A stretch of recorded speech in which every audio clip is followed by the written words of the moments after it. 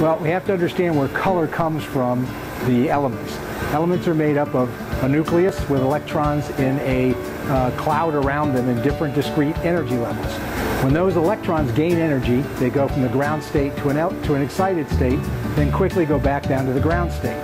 To go to the ground state, they release the energy and they release it as electromagnetic radiation or what we call visible light. And they release it in photons.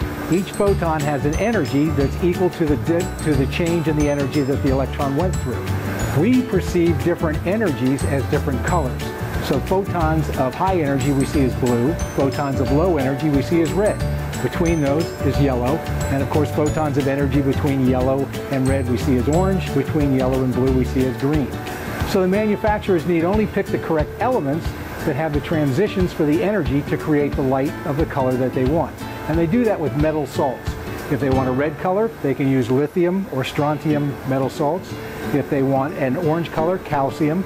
If they want a yellow color, they use table salt that we put on our food. Sodium, sodium chloride is a, is a metal salt.